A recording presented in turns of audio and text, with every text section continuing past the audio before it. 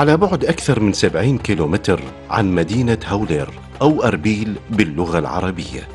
توجهنا لمدينة كردية عريقة ترك العثمانيين بصماتهم بها خلال تلك الفترة. وفورا من وصولنا جذب انتباهنا بساطة الحياة بهاي المدينة واختلافها عن أغلب المدن الكردية بمحافظة أربيل. أزقة ضيقة وشوارع عامرة بالناس وأطفال يلعبون. مشاهد ما عادت مألوفة إن بهذا الوقت. قشلة كويا أو قلعة كويا هذا المكان اللي أنا حاليا موجود به المكان اللي حسب ما يقال أنه مدحت باشا هو اللي أسس هذا المكان بعد أن كانت مدينة كويا هي مركز للأراضي الكردية اللي موجودة تحت الحكم العثماني. هذا المكان اللي يعود آه، تاريخه إلى القرن التاسع عشر أو منتصف القرن التاسع عشر. مثل ما تعرفون إنه إحنا دائما نسمع بكل مكان أو كل محافظة عراقية أكو قشلة أو كل مدينة عراقية بها قشلة والقشلة هي مربط الجيش الجيش لما يرابط هنا. وبسبب هذا البروده هذا المكان اختاروا هذا المكان حتى يتحصنون به بالشتاء البارد. هذه القشلة عبارة عن آه، حصن بأربع أعمدة آه، بالزوايا مالته اللي موجودة بالإضافة إلى الغرف والمرابط اللي يربط بها أو يكون يرابطون بها الجيوش اللي موجودة بتلك الفترة. حاليا عبارة عن متنزه وهذا الشيء الحلو اللي أنا شفته به لما استكشفناه وطلعنا به كانت المكان هو عبارة عن متنزه للعوائل. هاي وحدة. اثنيا المكان أيضا استغل أن يكون متنفس للعوائل بالإضافة إلى أن يكون مثل الكازينو موجود كازينوهات موجودة بهذا المكان بالإضافة إلى المكانات التراثية والمعالم اللي تركها الجيش العثماني بتلك الفترة من الأواني الفخاريات القدور اللي يصنعون بها المراجل. كل هذه الشغلات إحنا موجودة هنا نشوفها. حتى الطاحونة اللي يطحنون بها وعلى ذكر الطاحونة إحنا اليوم مخصصين حلقتنا لاستكشاف شيء معين. يمكن كان بعيد عن مخيلتي لكن إنه حبيت ندخل بتفاصيل هذا المكان. فاني مكمل وياكم. نستكشف هذا المكان أكثر نتعرف عليه أكثر. بعد آه، هذا الفاصل مكمل وياكم ببرنامج المستكشف.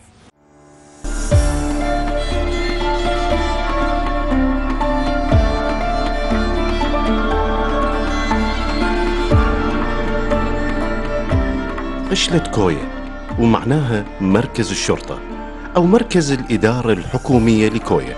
وهي عبارة عن مبنى موجود غرب كويا ويرجع تاريخ بناء هاي القلعة إلى عهد حكم الدولة المملوكية ببغداد وتشير المصادر أن تاريخ بنائها يرجع للنصف الثاني من القرن التاسع عشر الميلادي في أيام الوالي العثماني مدحت باشا. كان هذا في عام 1869 واللي كان وقتها واليا على بغداد في عهد الدولة العثمانية.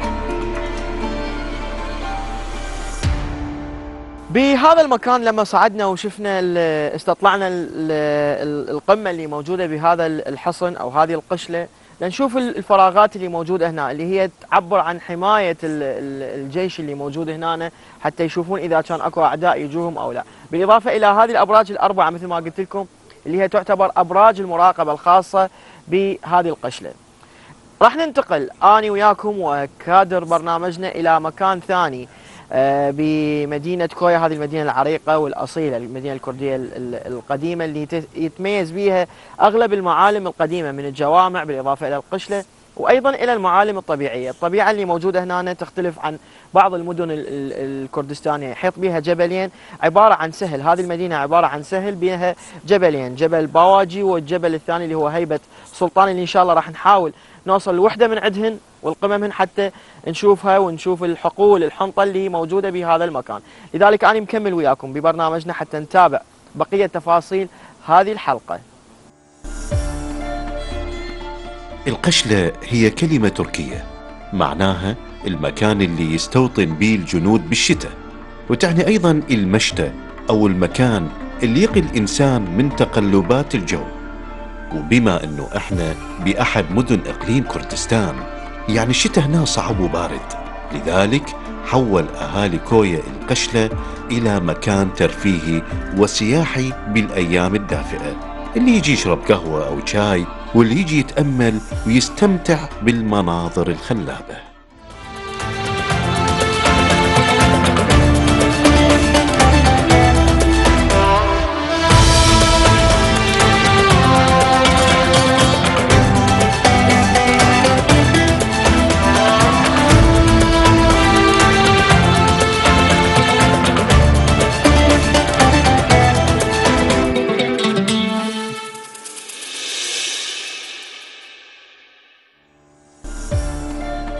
خلال رحلة استكشافنا الكوية شفنا السهول خضراء على مد البصر بين الجبال.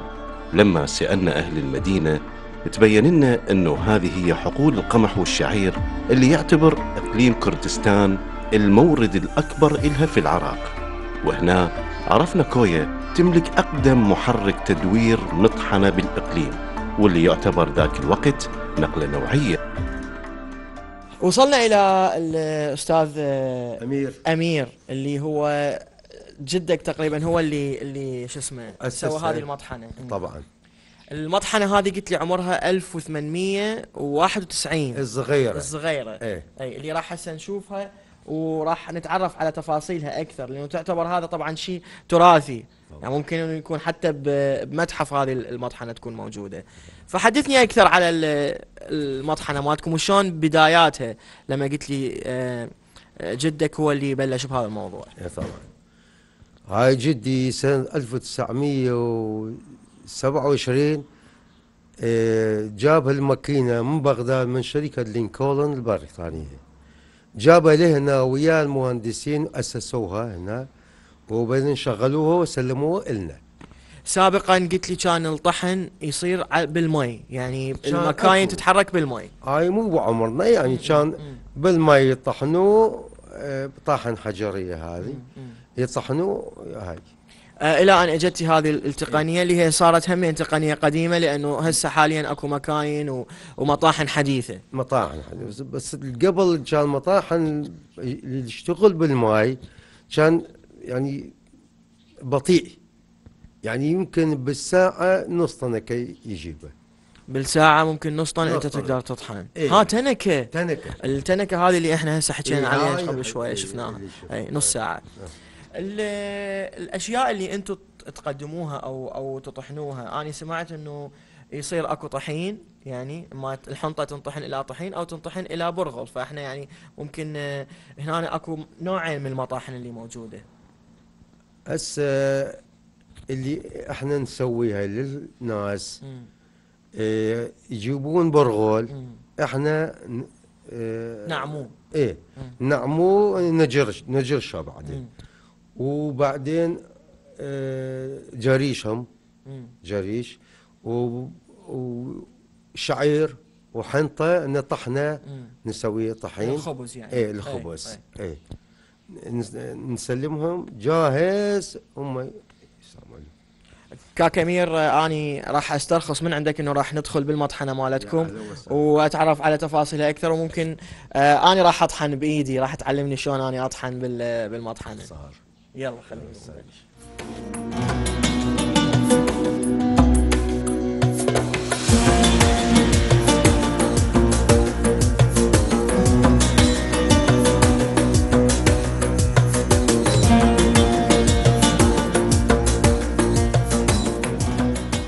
اكتشف فريق العمل اليوم شغلة جديدة بأحمد المطيري اللي هي حب التعلم هواي مهن. وهذا بعد إصراره على كاكا أمير صاحب المطحنة بتشغيل المحرك القديم رغم تخوف أهل المعمل من خطورة العملية وتم التشغيل والشروع بعمل الخط الإنتاجي.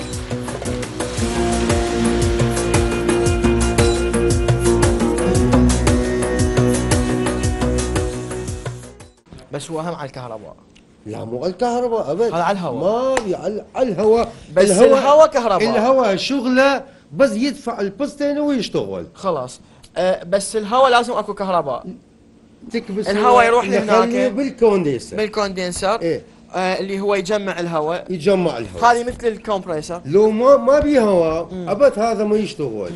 مستحيل. زين. هاي ن- نكبسها هنا يلا نملي يلا نفتح القفل يلا يشتغل ماكينة. فهسه إحنا راح آه، أول خطوة نشغل هذا. هذا راح يملي هواء. إيه. والهواء هو اللي راح يشغل الكمبريسر. إيه. تجري عملية الطحن على عدة أشكال. خط لطحن الحنطة وتحويلها لطحين. وخط ثاني لعمل الجريش والبرغل. وخط لطحن الحبوب وتحويلها لعلف الحيوانات. مدينة كويا وبسبب طول فصل الشتاء يدخر أهالي المدينة والقرى المجاورة القمح والشعير. هذا خلال موسم الحصاد في منازلهم ويحولوها إلى مواد نافعة ووجبات أساسية لهم خلال فصل الشتاء. حاليا آه، اني خلفي المحرك الأساسي لل- للمطحنة. وعرفت طريقة ال- ال- الشغل من آه، كاك أمير اللي حكالي على كل التفاصيل الحلوة اللي ممكن كنت مهما يكون إنه اختصاصك بمعدات وبآليات وهيك سوالف وممكن اني قريب من الموضوع لكن كنت ما متخيل أو ما متصور العملية شلون تصير. اولا هذه ال ال هذا المحرك هو المحرك الأساسي للمطحنة تقريبا عبارة عن ثلاث ال ال القمح أو الحنطة تتكون من ثلاث أجزاء. المرحلة الأولى أو الجزء الأول هو جزء المحرك وال- والعجلة الكبيرة اللي وراي اللي هي راح تحرك كل القوايش الجزء الثاني راح أنتقل لكم بها سفد شوية اللي هو جزء النواقل ال- ال- العجلات اللي تفتر عن طريق هذا المحرك حتى تنقل الحركة من المحرك المن لل لل- للطاحونة أو للمجرشة مثل ما يقولون. هذه ما تشتغل على الكهرباء. تشتغل على الهواء. فالخطوة الأولى لتشغيلها إحنا راح آه، نشغل ال- الكابسة اللي راح تكبس لنا هواء وتحوله ال- الخزان والوعاء اللي موجود هسه قدامي. وهذا الوعاء راح ينكبس به هواء كمية الهواء وقوة الهواء اللي راح تكون موجودة بهذا الوعاء راح تنقل لي ال- ال- الحركة وتخلي المحرك يشتغل. بعد ما يشتغل المحرك القوايش اللي موجودة راح تنقل الحركة. عن طريق النواقل اللي موجودة وبعدين ننتقل للمجرشه فالخطوه الأولى كملناها هنا راح ننتقل وياكم للخطوة الثانية.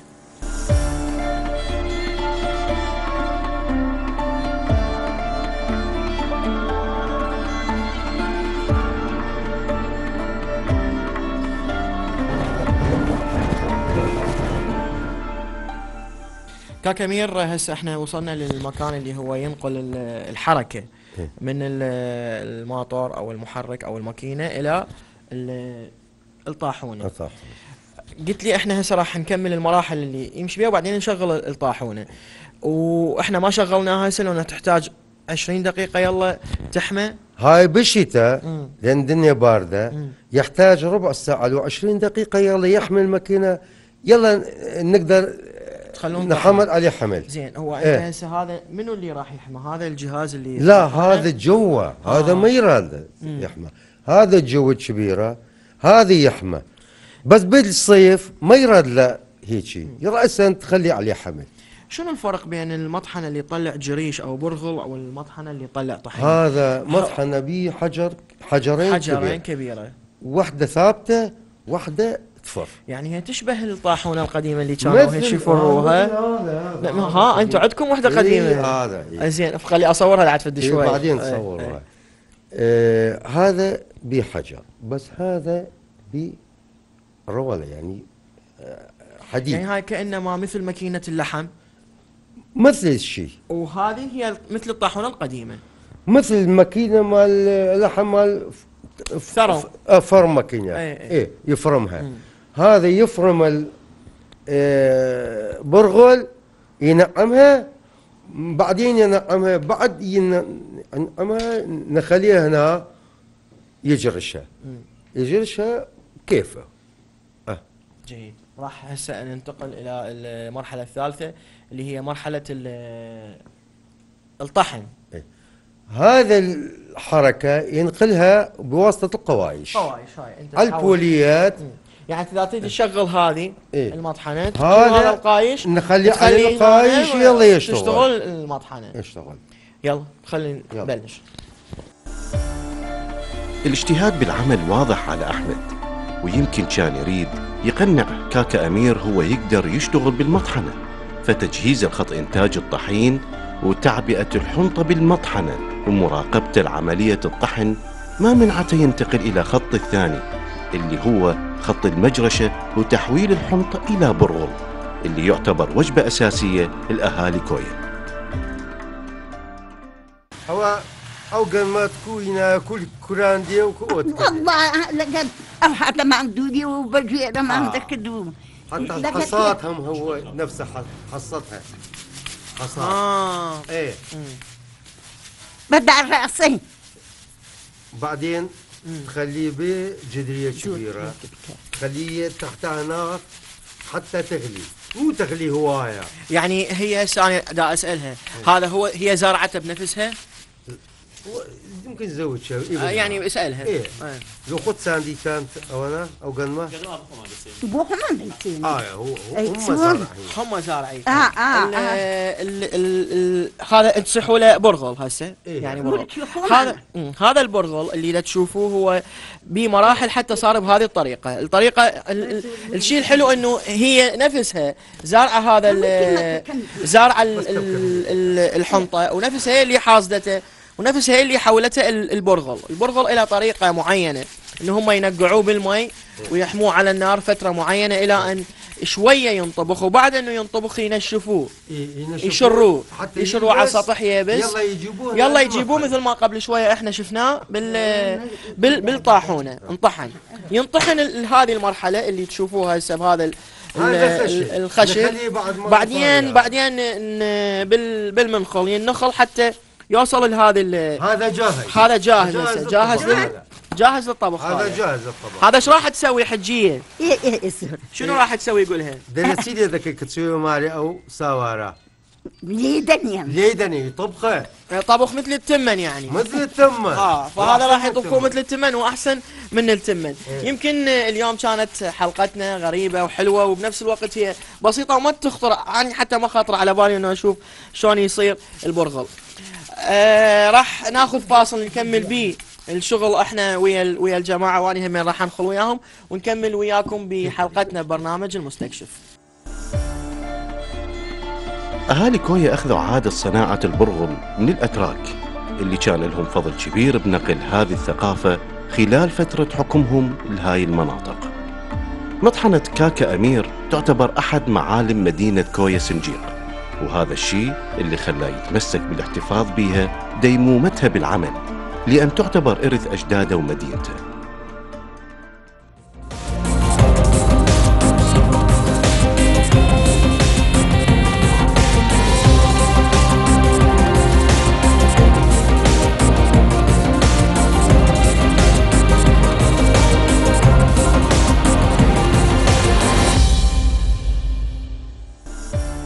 من بالغ ابدا لما نقول بأن جغرافيا قضاء كويا اللي تمتد ما بين سفوح سلسلتي جبال هيب سلطان وبواجي حتى ضفاف الزاب الأسفل.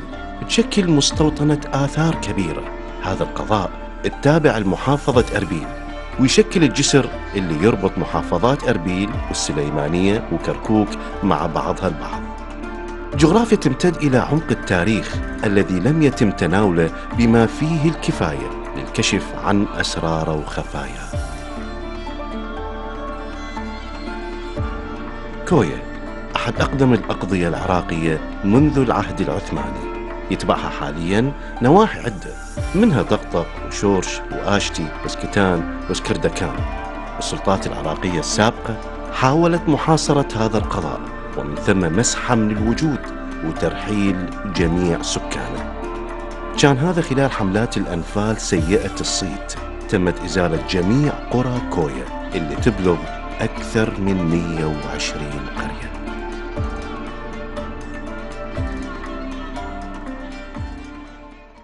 وصلت لنهاية آه، محطات حلقتنا لهذا اليوم واستكشافنا لمدينة كويا والمطحنة وهذه التفاصيل كلها. راح أرجع أستذكر وياكم على هذه الخريطة اللي هي جوايا المدينة كلها اللي مثل ما قلت لكم بالبداية إنه مدينة كويا عبارة عن سهل يحد جبلين اثنين لما حكيت وياكم ببداية الحلقة وحاليا أنا هسه بأعلى قمة موجودة بمدينة كويا اللي هي هيبة سلطان هذه اللي يمي بالإضافة إلى ال- القمة الثانية والسهل اللي يتوسطها. بلشنا ببداية الحلقة بالقلعه أو القشلة اللي موجودة جوا حاليا بعدين انتقلنا إلى السهل وال ومزارع الحنطة اللي إحنا أخذنا من عندها جزء من من الحلقة حتى ننتقل إلى تجربتنا اللي جربناها واستكشفناها اليوم تجربة المطاحن وشلون يتحول القمح أو الحنطة إلى طحين أو إلى جريش أو برغل. بنفس هذا المكان وبعدها انتقلت إلى هذا المكان الأثري لو ردنا نرجع بالزمن لآلاف السنين فكويا هي محطة لعدة حضارات حضارة الكوتيين بالإضافة إلى حضارة الآشوريين والبابليين. وعليها هواي أطلال موجودة من الحضارات. لو ردنا ننتقل من مكان إلى مكان بكويا راح نشوف هواي حضارات موجودة. ومن ضمنها هذه الآثار اللي أني عليها خلال بتصويرنا بهذه الحلقة. راح نستعرض جزء من عندها حتى نختم حلقتنا وننهيها بقضاء كويا الجميل واللي مميز من بين كل الأقضية اللي موجودة بكردستان.